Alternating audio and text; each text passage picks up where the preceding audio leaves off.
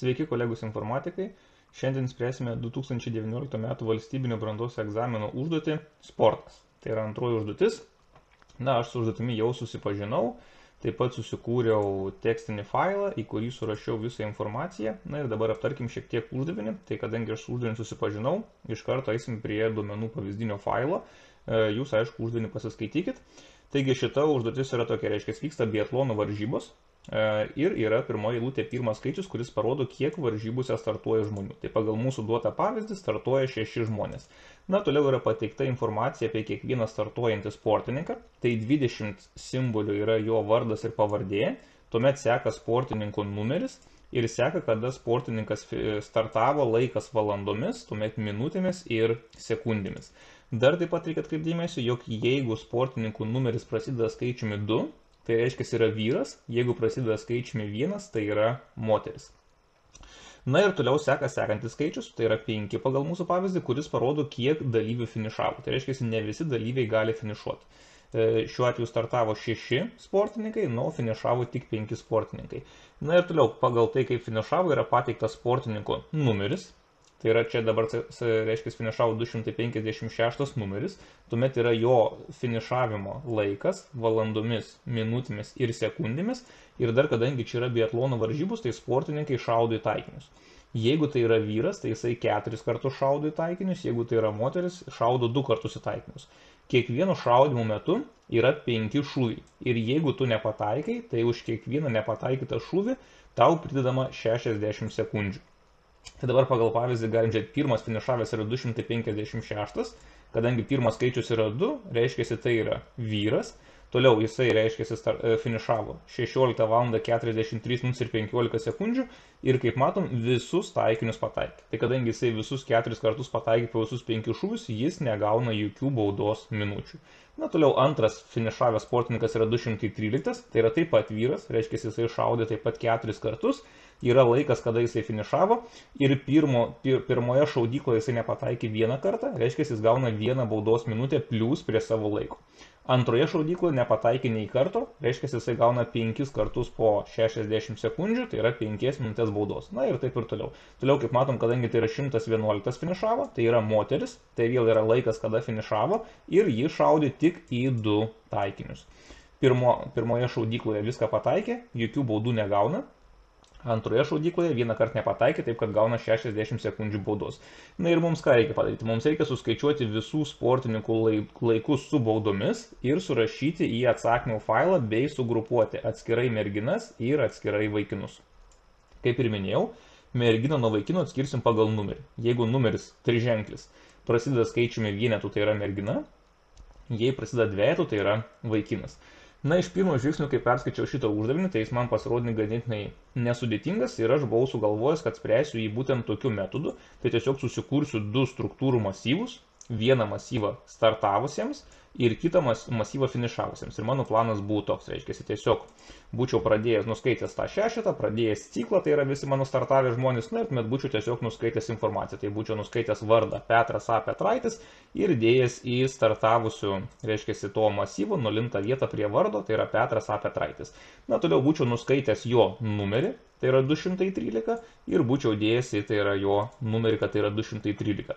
Tuomet būčiau nuskaitęs jo šituos tris skaičius ir pavertęs tą laiką į sekundės ir būčiau išsaugojęs tą laiką į šitą laiką. Tai reiškia, jisai e, startavo 15 valandų, tai bus 15 padauginsim iš 3600, tada minučių, tai bus jisai startavo 20 minučių, tai bus 20 padauginta iš 60 ir plus kiek tai yra sekundžių, tai yra 0,0 sekundžių. Na, plus 0 sekundžių. Ir štai būčiau gavęs, kad mano pirmas startavęs sportininkas yra jo vardas nulimto vietoj, jo numeris yra ir jo laikas sugaištas sekundėmis. Ir tai būčiau nusiskaitęs informaciją apie visus tuos sportininkus. Tai tuomet būčiau nuskaitęs, reiškia, kad Jurgis Jurgutis pas mus e, sekantis sportininkas, kuris startavo, tai būčiau Dievas įstartavo pirmos vietos vardą, tai būtų Jurgis Jurgutis, na ir tai būčiau visą informaciją nuskaitęs, reiškia, jo numeris dar kartą ir jo laiką taip pat nuskaitęs ir pavertęs į sekundės ir padėjęs čia. Toliau būčiau nuskaitęs štai šitą skaičių, tai yra 5 ir pradėjęs antrą ciklą ir dabar čia būtų informacija apie finišavusius. Tai mano planas būtų toks. Tiesiog būčiau nuskaitęs skaičių 256, štai šitos tai yra jo numerį, to finišavusių numerį. Tuomet būčiau tą numerį dėjęs į, reiškiasi, e, kažkokią tai nulintą vietą tą numerį būčiau dėjęs ir tuomet būčiau ėjęs per pirmą mūsų tą visą struktūrų masyvą, tai per šitą vietą ir būčiau ieškojęs du, ir būčiau ieškojęs 256 numerių.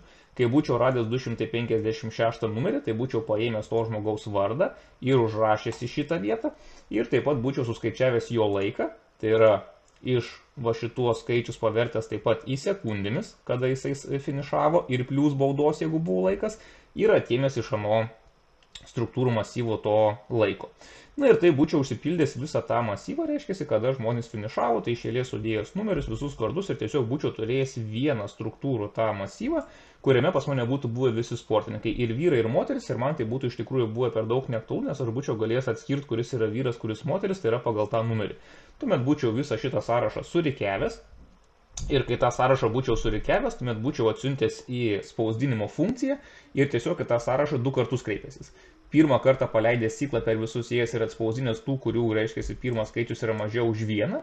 Ir antrą kartą paleidęs vėl ciklą, perės per tą patį sąrašą, atspausdinęs tuos, kurių e, numerio pirmas skaičius yra 2. Ir tai būčiau parašęs merginos ir vaikinai ir viskas, ir uždavinys būtų iš tikrųjų įsisprendęs labai lengvai, labai gražiai, tiesiog panaudojant dvi struktūras, kaip ir minėjau, į pirmą struktūrą dar kartą padėjus visą informaciją iš karto, į antrą struktūrą iš pirmo padėti numerį, tada pagal tą numerį pereiti per pirmą struktūrą, atras koks tai buvo vardas, išminusuot laikus ir padėti čia. Toliau vėl tuomet būčiau ką dar kartą nuskaitęs antro finišavusių numerį, tai yra 213 ir būčiau padėjęs į šitą vietą, kad finišavo 213, vėl būčiau perėjęs per šitą struktūrą, būčiau radęs, kad 213 yra Petras A. Petraitis, nukopijavęs šitą vardą, reiškia, įkėlęs čia, tuomet paėmęs štai šitą laiką, kada jisai finišavo, plus baudos minutės ir atėmė štai šitą jo laiką ir gautų laiką čia įrašęs. Viskas paprasta. Bet po to aš pamačiau, kad yra čia parašytas vienas labai toksai įdomus dalykas. E, tai va čia, kur yra parašyta prie nurodymų.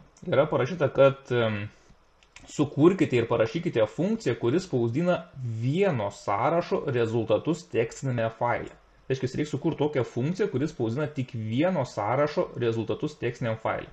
Tai bet aš ir planavau naudoti čia tik vieną sąrašą. Ta prasme, aš norėjau nusiųsti tai štai šitą sąrašą į spausdinimo funkciją ir jį tiesiog du kartus paleisti ciklą pereit per tą sąrašą du kartus dar kartą ir kai spausdinsiu va čia atsakymus, tiesiog su įfu palyginti. Jeigu numeris yra pirmas mažesnis už vienetą, tai išspausdink pirmą merginas, tada parašė žodį vaikinai ir vėl per tą sąrašą antrą kartą jas ir spausdinės. Tačiau aš akivaizdžiai matau, kad jie nori, jog aš parašyčiau šitą funkciją, kuris spausdins rezultatus tekstiniam faile ir ją du kartus kreipčiausi ir išsiųščiau du sąrašus.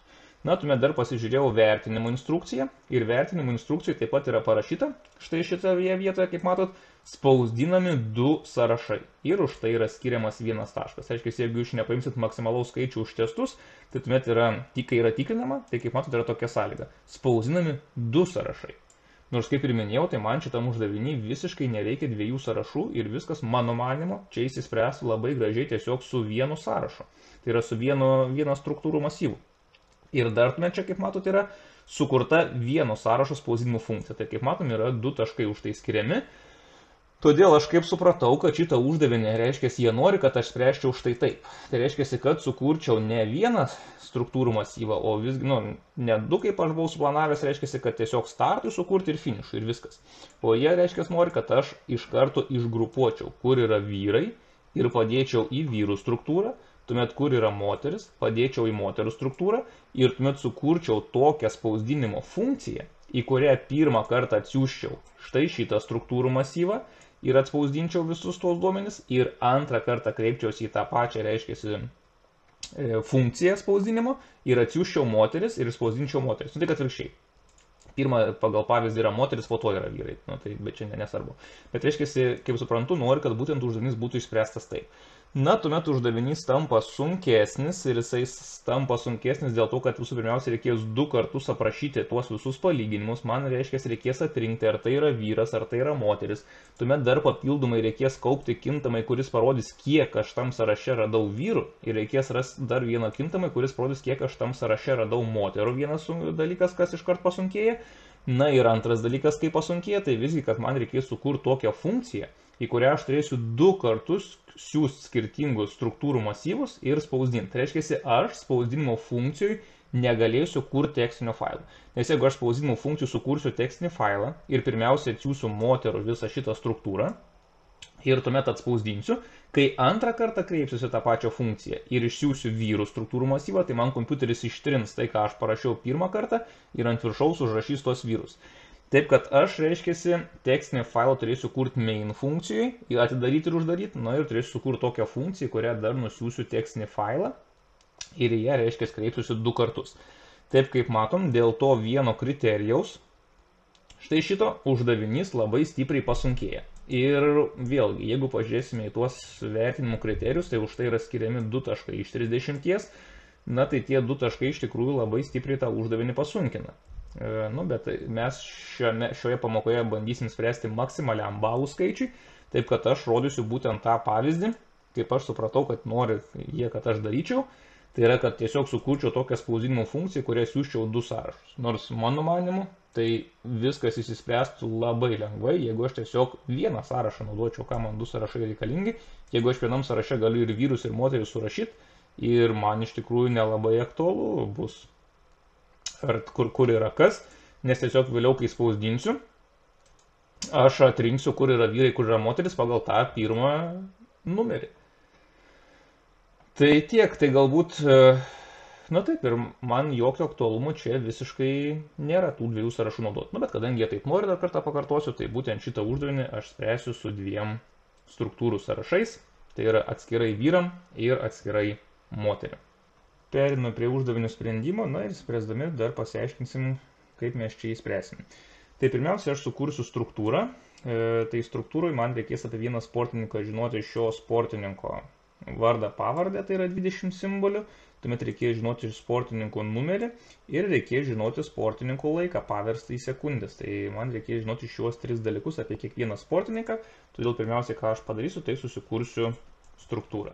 Taigi susikursiu struktūrą, pavadinsiu ją sportininkas, kadangi struktūra prašo vieną sportininką. E, na ir, kaip ir minėjau, apie kiekvieną sportininką aš žinosiu tris dalykus. Tai yra žinosiu jo vardą iš 20 simbolių. Pavadinsiu tai vardas 20 simbolių.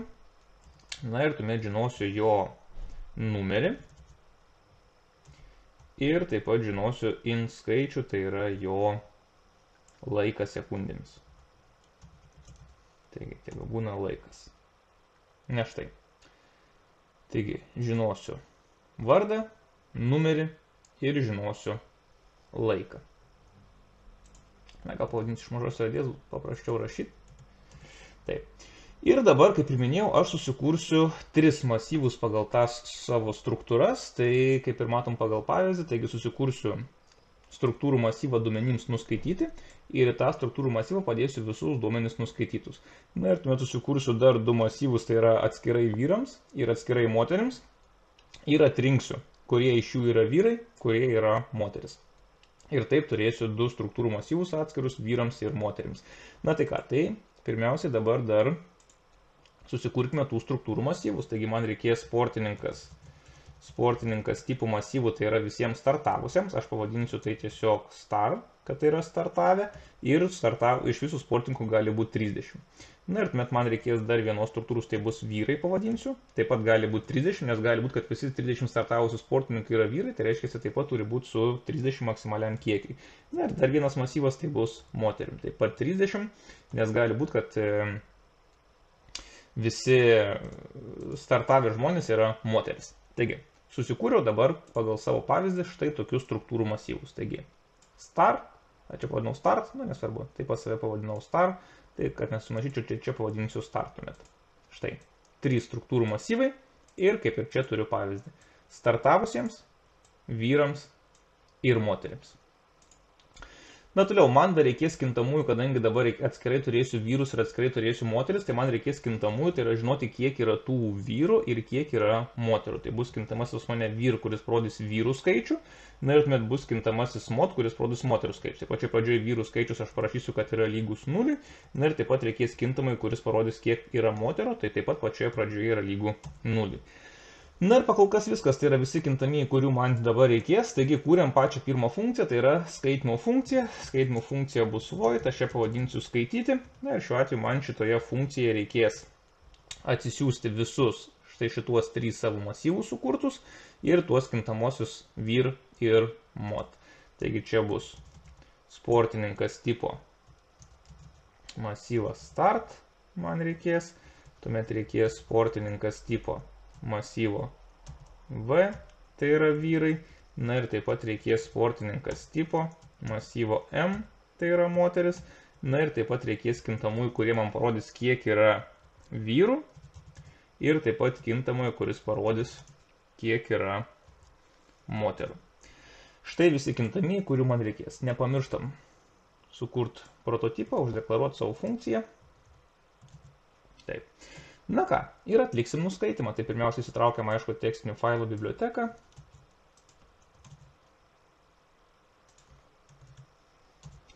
Taip, susikūrėm visus kintamosius.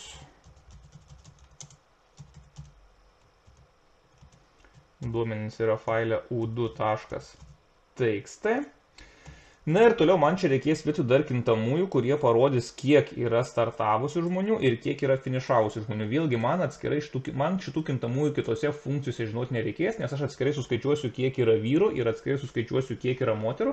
Taip kad tų kintamųjų, kurie man parodo, kiek žmonių startuoja ir kiek žmonių finišuoja, man kitose funkcijose nereikės. Todėl aš tuos kintamosius susikursiu tik tos funkcijos viduje, nes man to kintamojo n ir kintamojo m daugiau visiškai niekur nereikės. Aiškiai, man jie bus reikalingi tik šitos funkcijos viduje. Viskas. Tai yra in, nm. Na ir toliau kitų kintamų man čia dar šitoj funkcijų reikės, bet apie juos pakalbėsime truputėlį vėliau, kai prieisim būtent prie to sprendimo. Na ką, dabar galima atlikti savo tą nuskaitimą. Taigi pirmiausiai iš tekstinio failo dabar mes nuskaitysim pirmą skaičių, kuris parodo, kiek pas mus žmonių startavo. Taigi iš tekstinio failo nuskaitom pirmą skaičių, kuris parodo, kiek žmonių startavo. Taigi, kai turėsim šitą skaičių, tuomet mes galėsim paleisti ciklą. Taigi, turėsim šitą skaičių, kuris rodo, kiek žmonių startavo. Tuomet paleisim ciklą. Jį vykdysime būtent n kartų.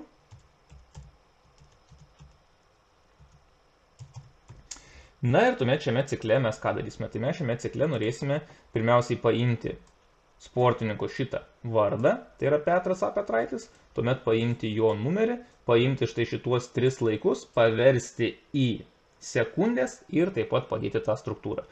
Tai dabar pirmiausiai, kadangi kai nuskaičiau šeštą, čia yra tarpo, kaip matome, ir toliau, kai nuskaitysime eilutę, taip pat yra tarpo, taip kad tuos tarpus reikia, aišku, ignoruoti.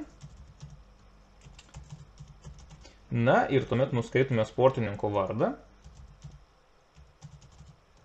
ir dėsime į startavusių masyvo įtosios vietos taškas vardą. Nu, ir nuskaitysime tą 20 simbolių žmogaus vardą. Kai nuskaitysim žmogaus vardą, tuomet mes pagal pavyzdį nuskaitysime jo numerį. Taigi nuskaitume to žmogaus numerį.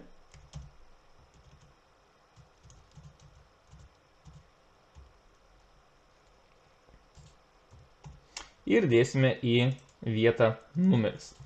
Na, toliau, kai nuskaitysime numerį, mums dabar reikia nuskaityti tuos tris laikus, tai yra valandas, minutės ir sekundės, ir paversti sekundės ir tik tuomet padėti struktūrą, tai kadangi man dabar reikės laikinų kintamųjų, tai aš juos susikursiu čia viršui, tai reiškia valandos, tuomet kintamai minutės ir kintamai sekundės.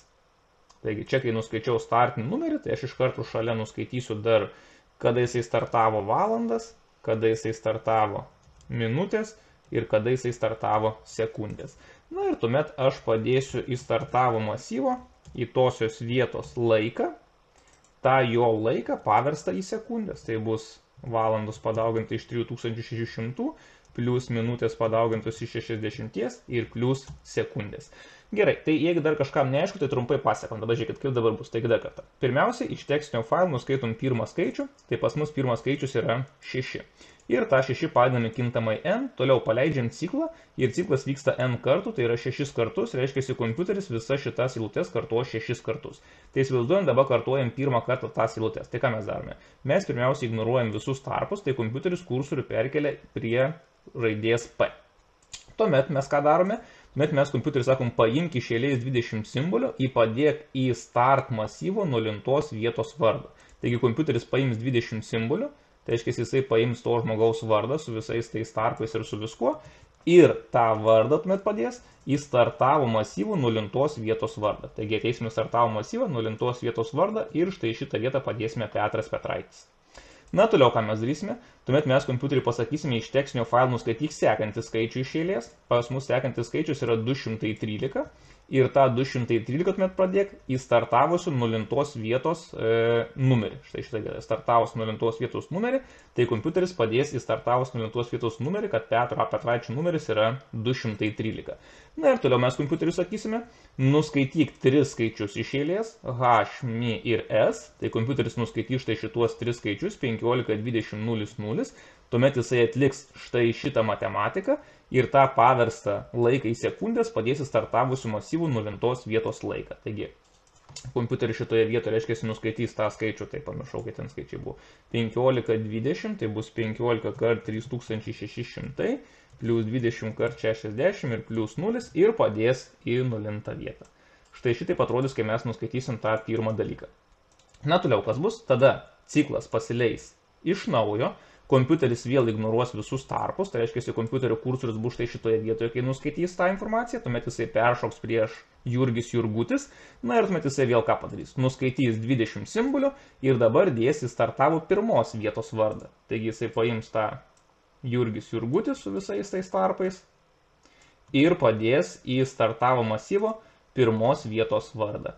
Na, tuomet jisai vėl ką padarys nuskaitys sekantį skaičių padės į startavo pirmos vietos numerį, tai reiškia jisai skaičių 221 padės į startavo pirmos vietos numerį. Na, toliau jisai nuskaitys vėl tuos tris skaičius valandos, minutės, sekundės, atliks štai šitą matematiką ir padės į pirmos vietos laiką. Tai pagal mūsų pavyzdžiui yra 16, 12, 12, tai jisai štai šitoje vietoje bus 16 padaugins iš 3600 plus 16 padaugins iš 60 ir plus kokie ten skaičiai buvo. 16, 12, 12 buvo. Taip ir pridėjęs 12 ir štai šitoje vietoje buvo 12 kart 60. Na taip jisai užpildys, kaip matome, antrą vietą. Na toliau masyvas startuos trečią kartą.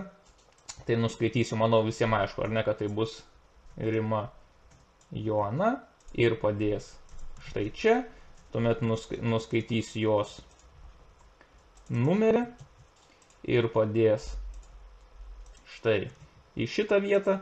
Na ir tuomet nuskaitysiu laiką, dabar neskaičiuosiu matematiškai, tai čia nuskaitys tą laiką, ne, tai tiesiog pavadinsiu xxx. Toliau reiškia, ką jisai padarys. E, nuskaitys iš eilės sekančią informaciją, tai yra Zigmas nosis. Taigi Zigmas nosis, jo numeris 256, tai aš iškart greitai užpildysiu. Zigmas nosis 256 ir taip pat paskaičiuosiu jo laiką, dabar neskaičiuosim greitai.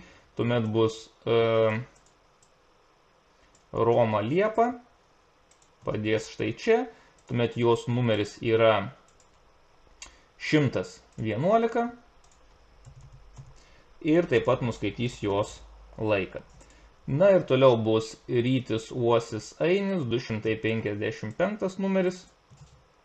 Taigi 255 numeris ir nuskaitys jo laiką. Na taip, Tai atlikę pirmąjį ciklą turėsime užsipildę būtent štai tokį struktūrų masyvą, kuris mums parodys visus sportininkus, kurie startavo. Na, toliau pagal pavyzdį seka skaičius 5, kuris parodo, kiek sportininkų finišavo, tai mes tą skaičių nusiskaitome iš tekstinio failo ir dedame kintamai m. Tuomet paleidžiame ciklą ir tą ciklą darome m kartų. Taigi, kol i mažiau už m, i plus plus. Na, kaip dabar mes atliksime tolimesnius skaičiavimus? Mes atliksim taip. Taigi pirmiausia, nuskaitysime sportininkų, kuris finišavo numerį. Tai matom pagal pavyzdį, pirmas sportininkas, kuris finišavo, tai yra 256. Tačiau dabar aš, kai tą numerį nuskaitysiu, tai aš nežinau, į kurią struktūrą man dėti, kurį struktūrų masyvą. Ar čia, ar čia.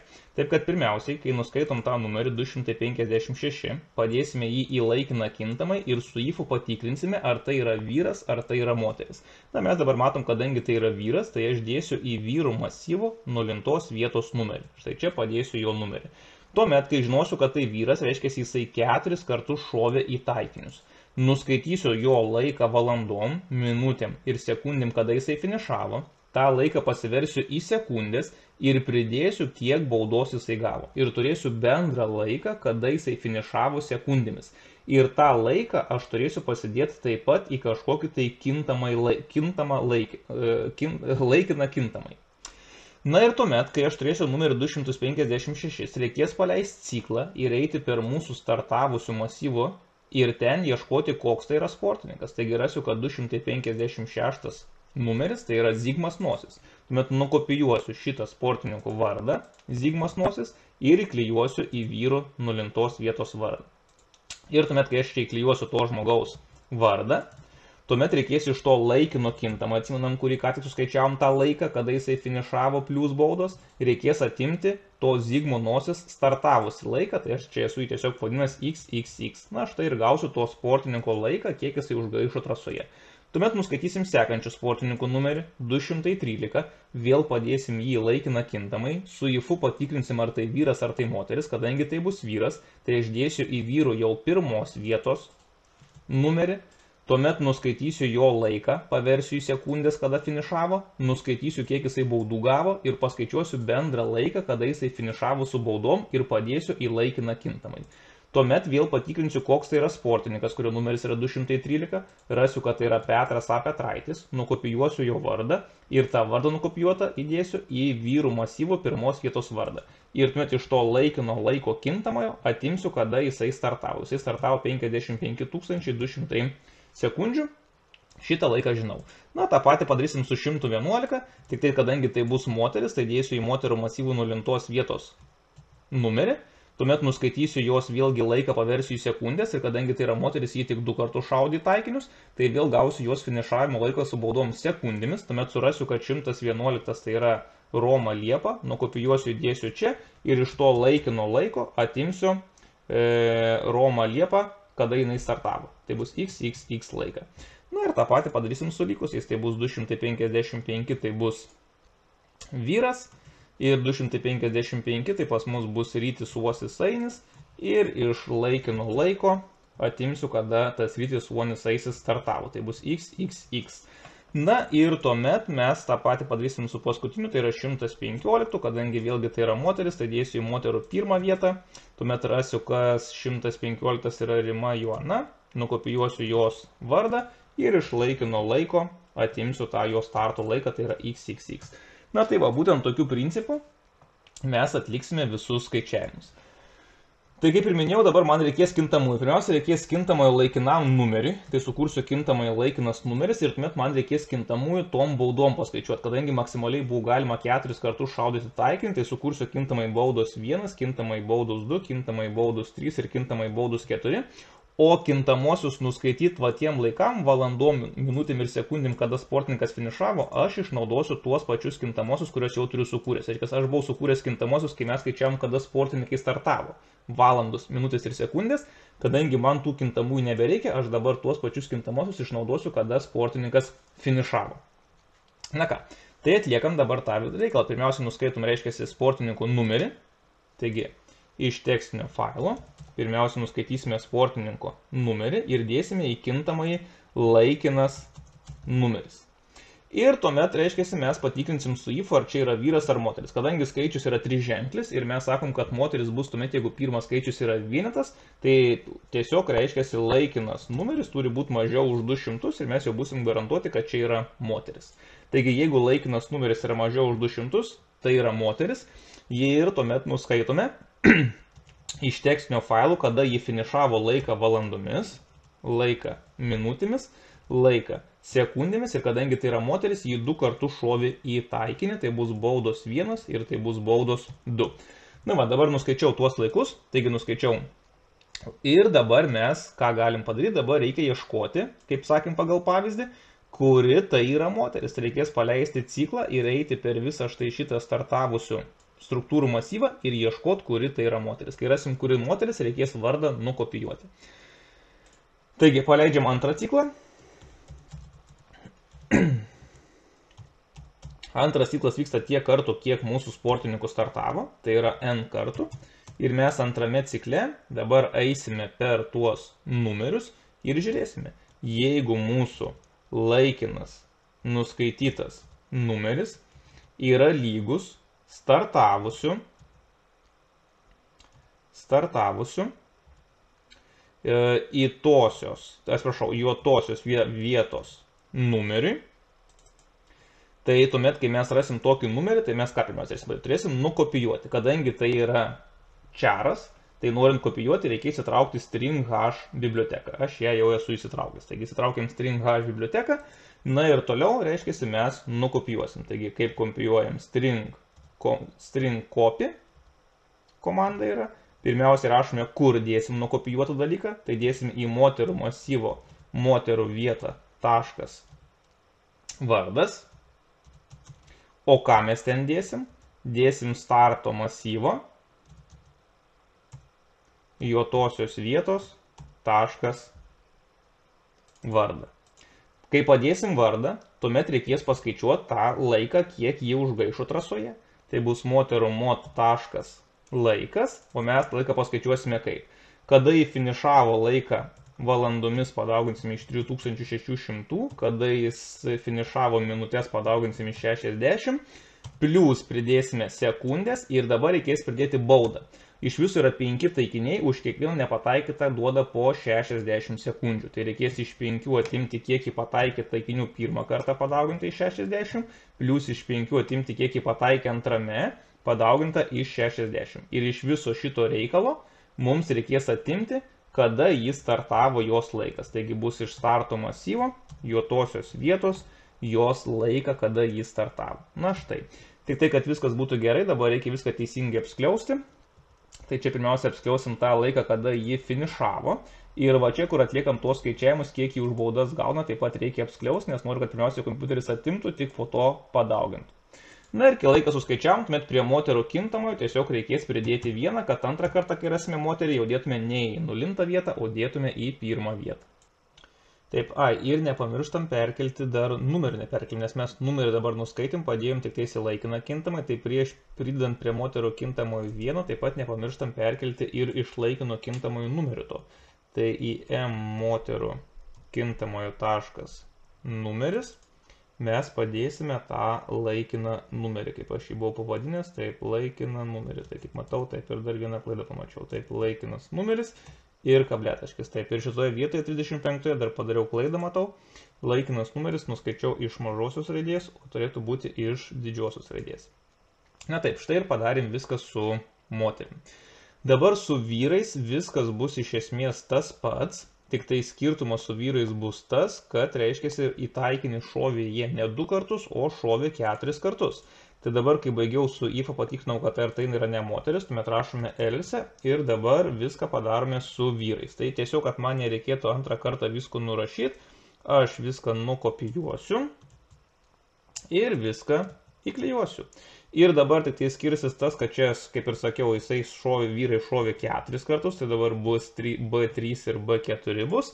Na ir toliau viskas taip pat, nu, turime laikiną numerį, surandame atitikmenį, tik tais dabar dėsime ne į moterų masyvą, o dėsime į vyrų masyvą. Ir vieta dabar bus ne mot, o vieta bus vyr. Ir čia tuomet dėsime į vyrų masyvą, vyrų laiką.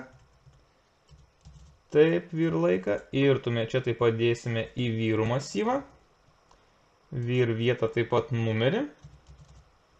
Ir papliusinsime ne vyr kintamai, tai yra ne mot kintamai, kuris rodo kiek yra moterų, bet kintamai vyr. Na ir nepamirštam, kad dabar dar tų baudų bus dar daugiau. Tai dar bus plus iš 5 atimsime B3 kart 60, na ir plus iš 5 atimsime B4 kart 60. Ir vėl nepamirštam apskliausti, Pirmiausia, norim paskaičiuoti, kiek taikinių nepataikyta buvo, iš jūsų yra 5 taikiniai, o kintamasis tas B1, B2, B3, B4 rodė, į kiek taikinių buvo pataikyti. Tai randam, kiek taikinių nepataikė ir už kiekvieną nepataikytą taikinį po 60 sekundžių.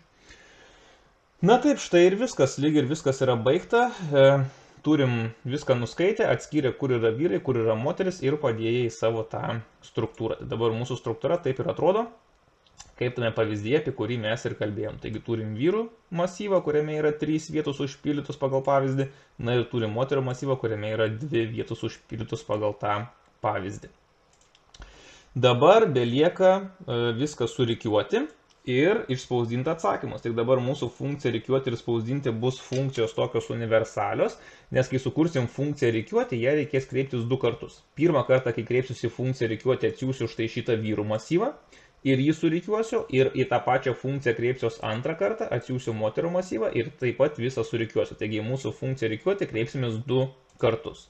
Na tai dabar apsirašom savo funkciją tą reikiuoti, tai bus funkcija void pavadinsiu aš ją reikiuoti, kaip rašyti funkciją reikiuoti visi puikiai žinome jau mintinai, naudojam kokį metodą jūs ten norite. Tik dabar, kadangi aš šitą funkciją kreipsiuos du kartus ir pirmą kartą siūsiu vyrus, antrą kartą moteris arba atvirkščiai nesvarbu, tai aš čia susikursiu kintamosius su nieko nesusietus. Taigi pirmasis kintamasis man turi parodyti, kiek masyviai yra elementų, tuomet kitas kintamasis tai bus sportininko tipo, tas mūsų masyva, tiesiog aš jį pavadinsiu kaip masyvas. Na ir dabar surikiuojame. Taigi, paleidžiam pirmą ciklą. Taip, tuomet paleidžiame antrą ciklą.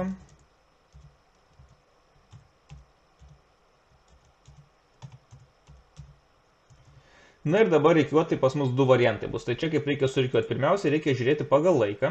E, tai reikia išreikiuoti viską nuo trumpiausiai laiko užgaišų trasoje iki ilgiausiai. Jeigu randam du žmonės pagal laiką vienodus, tai tuomet surikiuojam pagal abicėlę, pagal jų vardus ir pavardės.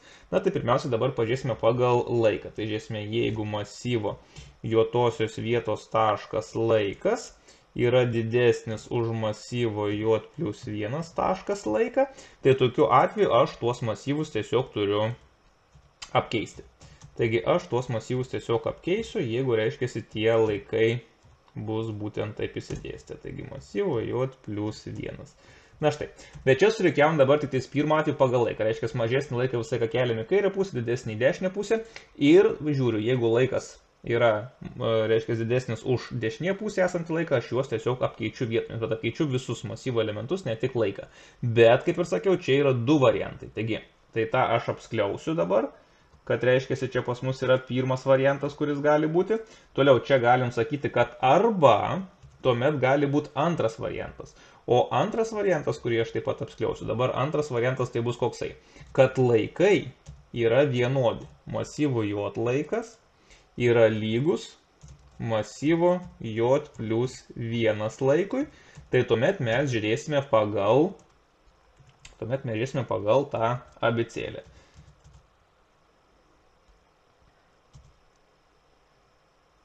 Tai tuomet lyginsime taip. Lyginsime masyvą j taškas vardą ir masyvo j plus 1 taškas vardą Ir jeigu yra daugiau už nulį, tai mes juos taip pat apkeičiam.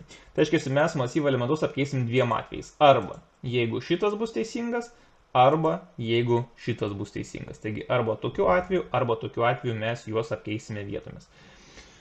Na ką, gerai, tai dabar beliks parašyti funkciją spausdinimo, bet gal dabar prieš tai dar susikurkime funkcijų tuos prototipus, uždeklaruokime ir iškvieskime funkciją reikiuoti. Taip, taigi funkcija čia bus reikiuoti.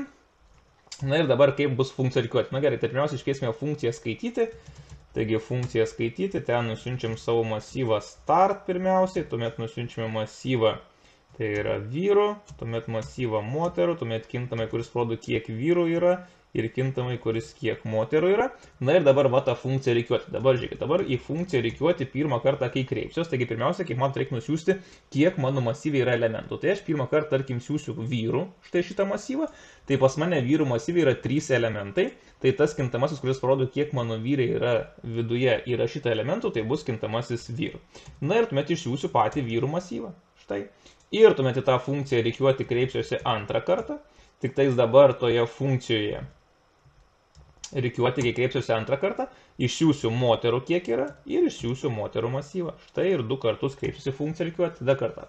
Kreipiuosi į funkciją reikiuoti pirmą kartą, išsiunčiu kiek yra vyrų, tai pagal mūsų pavyzdį bus skaičius 3 ir išsiunčiu visą vyrų masyvą. Taigi, reiškia, išsiųsiu visą štai šitą lentelę.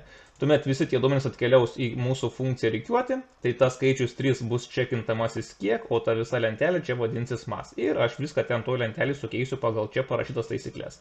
Tuomet į funkciją reikiuoti kreipsiuos antrą kartą, išsiųsiu kiek yra pas mane moterų, tai pagal pavyzdį bus skaičius 2 ir išsiųsiu visą moterų tą masyvą. Taigi išsiųsiu visą štai šitą vat masyvą. Ir tuomet, kai čia atkeliaus tas skaičius 2, tai čia šioje funkcijoje jisai bus vadinama kintamoju kiek, o ta lentelė visa moterų tai bus mas. Ir viskas čia bus būtent išrikiuota tokiu principu. Štai reikėjimų funkcija baigta, viskas ir dabar belieka tiesiog atsakymus atspausdinti. Taigi dabar sukursime funkciją spausdinti. Na, funkcija reikiuoti vėl turi būti sukurta tokiu pačiu principu. Į ją reikės kreiptis du kartus. Vieną kartą reikės atsiųsti vyrų masyvą, kitą kartą reikės atsiųsti moterų masyvą. E, ir dabar tekstinio failo atidaryti viduje mes tos funkcijos negalim spausdinimo. Jeigu failas bus atidarytas viduje ir uždarytas, kai aš antrą kartą kreipsiuosi tą funkciją, tai kompiuteris viską iš vidaus užtrins ir ant viršaus užrašys naują informaciją. Reiškia, kai pirmą kartą kreipsiuosi funkciją spausdinti, noriu atsiųsti moterų šitą masyvą ir išspausdinti šituos du sportininkus. Ir aš noriu, kad kai antrą kartą kreipsiuosi funkciją spausdinti ir atsiųsiu štai šituos duomenys, kad kompiuteris neištrintų iš tekstinio failo prieš tai įrašytus duomenys. Norint, kad jis jų neištrintų, jie reiškia turi būti sukurti kažkur tai prieš iškviečiant funkcijas, o uždaryti po to, kai funkcijos bus iškviestos. Na ir dabar matom, kad pagal taisyklės pirmiausia dar reikės atspausdinti žodį merginos ir atspausdinti žodį vaikinai, taip kad šitą dydį taip pat reikės atsiųsti į funkciją. Na dabar sukurkime funkciją void spausdinti. Tai pirmiausia vėl reikės atsiųsti, tai yra kiekį, kai pirmą kartą kreipsiuos, tai bus kiek yra vyrų, tas kiekis bus, o antrą kartą tai bus kiek yra moterų. Na ir turiu atsiųsti sportininkas tipo vėl masyvą, tai pirmą kartą vėlgi atsiųsiu, tai yra vyrų masyvą, antrą kartą atsiųsiu moterų masyvą. Na ir dar, kadangi aš čia dabar turėsiu atsiųsti tekstinį failą, tai čia atsiųsiu dabar tekstinį failą, tai bus ofstream failas. Taigi atsiųsiu tekstinį failą, fout aš jį pavadinsiu, tą tekstinį failą. Ir nepamirštam, kad čia reikės atsiųsti kintamai string, tai yra tą lytį žodį arba merginos, arba žodį vaikinai. Nu, tai pavadinsiu, tarkim, lytis, tai bus kintamasis tiesiog lytis. Taip, na ką, ir dabar pagal pavyzdį matom, kad pirmiausia turėsiu atspausdinti tą kintamai lytis, tai yra žodį merginos arba vaikinai, tai reiškia, kai kreipsiuosi į tą funkciją pirmą kartą, tai išsiųsiu žodį merginos, antrą kartą išsiųsiu žodį vaikinai. Taigi į e-fautą mes čia atspausdinsime tą kintamai lytis pirmiausiai. Oi, kintamai lytis, praleidžiame eilutę, na, toliau praleisime, paleisime ciklą, ciklą darysime tiek kartų, kiek yra kiekis. Taip, na ir dabar cikle mes turėsime spausdinti. To masyvo į tosios vietos taškas. Pirmiausiai pagal pavyzdį numerį, jeigu gerai pamenu, pažiūrėkim dar kartą. Tai pirmiausiai numerį, tuomet palikti tarpą, Taigi paliksime tarpo simbolį. Na, tuomet turėsime atspausdinti to masyvo, tai yra vardą žmogaus. Taip, ir toliau jo laiką, kiek jisai užgaišo trasoje, bet vėl reikės atgal atversti į valandas, minutės ir sekundės. Taigi tai bus laikas. Pirmiausiai paversime į valandas, tai padalinsime iš 3600, tuomet paliksime tarpą ir vėl paimsime tą laiką Dabar paimsime minutės, tai pirmiausia su procentų ženklu padalinsime iš 3600 ir paskiau iš 60 ir gausim minutę, minučių kiek yra, na ir ant galo kiek yra sekundžių. Tai bus masyvo į taškas laikas, o sekundės gausim tiesiog su procentų ženklu padalinę iš 60. Na ir endline. Viskas. Taip atrodo mūsų spausdinimo funkcija. Na ką, ir dabar iškvieskime tą funkciją du kartus. Taigi reikiuoti, tada funkciją spausdinti ir dabar funkciją spausdinti kviečiam du kartus. Taigi pirmą kartą kviečiam funkciją spausdinti, pirmiausiai nurodom kiekį. Tai kadangi aš pirmiausia turiu spausdinti, kiek yra moterų, tai išsiųsiu tą skaičių, kuris rodo, kiek yra moterų, tai bus skaičius mot. Tuomet turiu išsiųsti moterų masyvą, tai yra m. Tuomet išsiųsiu tekstinį failą fout ir išsiųsiu vietoj lyties žodį, kurį ten turiu parašyti, o čia turiu parašyti žodį merginos. Taigi parašysiu tarp kabučių žodį merginos. Taip. Tik aišku, dar aš nesusikūriau tekstinio failo. Aš čia sakau kompiuteriu, kad išsiųsiu tekstinį failą fout, tačiau aš jo neturiu. Tai štai šitoje vietoje tiesiog sukursiu tekstinį failą fout, o pagal e, užduotį jis turi vadintis u2res.txt. Štai. Na, ir dabar į funkciją spausdinti kreipsiuos dar kartą. Taigi, ir dabar turi išsiųsti, kiek yra vyrų, tai bus kintamasis vyr, tuomet vyrų masyvą tai yra v, v raidė, tuomet tekstinį savo failą, tai yra fout ir žodį vaikinai, ar kaip būt, merginos vaikinai. Taip ir žodį vaikinai. Na taip. Ir kai viską baigsim, tik tuomet tekstinį failą uždarome. Na, va, tai dabar kreipsimės į funkciją spausdinti, išsiųsime kiek yra moterų skaičių, tai yra pas mus skaičius bus 2, yra dvi moteris suskaičiavę esant, bet išsiųsim visą moterų šitą masyvą, tai reiškia, išsiųsime visą štai šitą masyvą ir tuomet išsiųsime tekstinį failą fout ir žodį merginos. Taigi, kai čia atkeliaus tas du skaičius, tai bus kintamasis kiek, visa ta lentelė mūsų tai bus mas, mūsų tekstinis failas ir vietoj kintamojo lytis atkeliaus žodį merginos. Parašysim žodį merginos, išspausdinsim visą tą masyvą ir tuomet kreipsimės į funkciją spausdinti dar kartą, atsiūsime kiek yra vyrų, pagal mūsų situaciją tai bus skaičius 3, tuomet išsiųsim visą vyrų lentelę, štai šitą visą lentelę ir tuomet išsiųsime FV tekstinį failą ir išsiųsim žodį vaikinai. Taigi toliau čia atkeliaus viskas, taigi čia bus skaičius 3, čia bus mūsų lentelė, tekstinis failas ir žodis vaikinai. Išspausdinsim kintamai lytis, tai bus žodis vaikinai ir išspausdinsim visą savo tą masyvą. Na taip, atrodo šitaip. Tai patikrinkim dabar klaidų ar yra. Taip, čia yra klaidų, a, funkcijoje reikiuoti, tai čia parašiau n-1, taip, tai čia turi būti ne n-1, o turi būti kiek kiekis, tai yra mano kintamasis, o ne, nes aš čia atsiunčiu kintamai kiek. Taip, ir dabar patikrinkime dar kartą. Taip, klaidų nėra. Na, dabar nueinam pažiūrėti savo tekstinį failą ir pažiūrėkime, kaip atrodo mūsų rezultatai. Palyginkime su tuo, kaip turėjo būti rezultatai.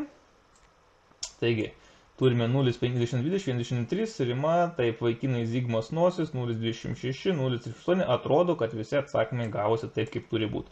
Na, pamėginkim dabar padaryti su tekstiniu failu antru. Taip, yra kitas pavyzdys, nusikopijuoju jį ir vėlgi įklijuokime čia. Taip, įrašome viską. Ir vėl grįžtame, paleidžiame programą. Taip. Na ir pažiūrėkime dabar, kaip atrodo atsakymai. Ir kaip turėjo būti atsakymai. Taip, taigi turėjo būti žodis merginos, pas mus taip ir yra merginos, tuomet žodis vaikinai ir tuomet visa šita informacija. Na, atrodo, viskas išspręsta yra neblogai. Vėl kaip ir minėjau, tai kaip matom šitas uždavinys tapo ganėtinai sudėtingų uždavinių ir viskas atsitiko vien dėl to tokio kriterijaus, kad jie reikalauja būti sukurta ir parašta funkcija, kuris spausdina vieno sąrašo rezultatus. Jeigu būtume sprendę iš visų viską su vienu sąrašu, tai viskas būtų supaprastėję, būtų nereikėję į mūsų spausdinimų funkciją siuntinėti čia kintamojo f out E, būtų nereikėjo siūsti kintamojo lytis, taip pat nereikėtų du kartus kreiptis į funkciją spausdinti, taip pat nereikėtų du kartus kreiptis į funkciją reikiuoti ir būtų nereikėjo du kartus daryti štai šitų skaičiavimų. Na vėlgi, e, uždavinys, kaip ir minėjau, labai stipriai apsunkėja. Na, galite spręsti aišku ir su viena struktūra, tai tuomet, kaip matėm pagal pavyzdį, prarastume du taškus, tačiau sprendimas taptų labai paprastas ir lengvas ir mes sutaupytume iš tikrųjų labai didelę kodų dalį. Na, bet mes padarėm pagal visus reikalavimus, kaip buvo parašyta. Tai tiek šiam kartui, susitiksime kitose pamokose.